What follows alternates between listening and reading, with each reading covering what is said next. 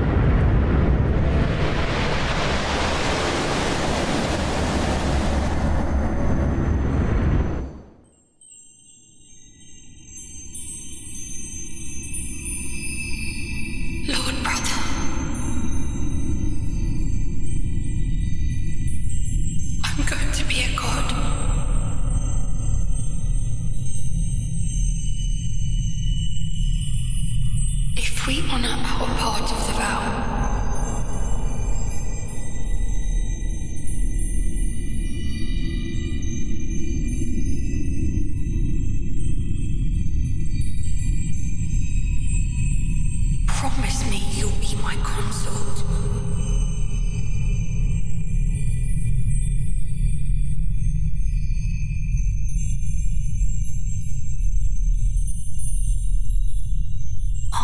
the world a gentler place.